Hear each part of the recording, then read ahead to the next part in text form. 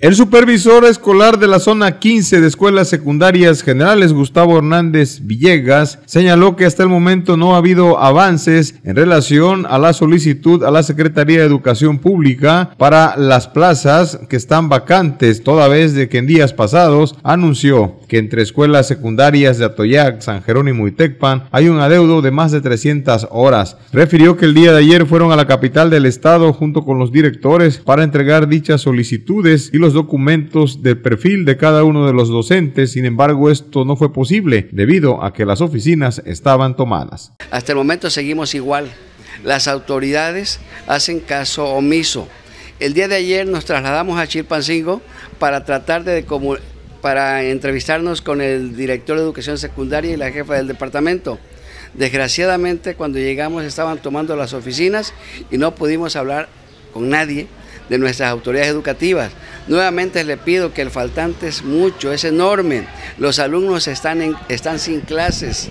Yo al gobernador le pido a los presidentes municipales que intervengan en este faltante, ya que el acuerdo 717 les da facultades a ellos de intervenir.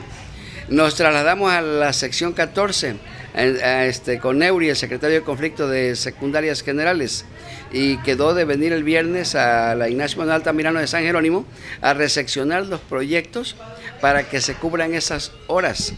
Pero no, yo no veo voluntad de parte de ninguna autoridad que nos resuelva el problema. Ahí este, la versión que nos dan, que los van a contratar de esta fecha a julio, va a ser un contrato.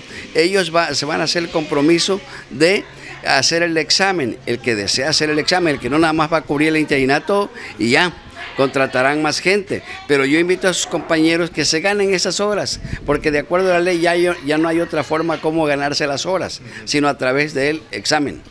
Sin embargo, profesor, queda en el aire la, situación de que al, en, el, escenario de que un maestro eh, apruebe este examen, los nombramientos se emitirían de manera ilimitada permanentemente de acuerdo a la ley no son, no son, limita, no son ilimitados, son limitados y tiene que presentar su examen, hacer el procedimiento en esas horas que esté concursando. Entonces estos proyectos van encaminados ya a cubrir en su totalidad eh, de manera interina.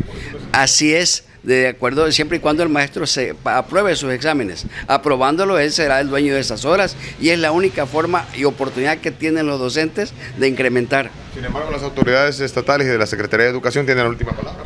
No, es el servicio profesional docente quien tiene la última palabra, pero yo espero que reflexionen ellos y la ley la tengan que cambiar porque no va a venir un maestro a cubrir seis horas nueve horas tiene que darse a los maestros que están dentro de la escuela. De estas, escuelas, profesor, que, ese día estuvieron la reunión los directores, todas, eh, es decir, aprobaron de manera interna sus proyectos, propusieron maestros.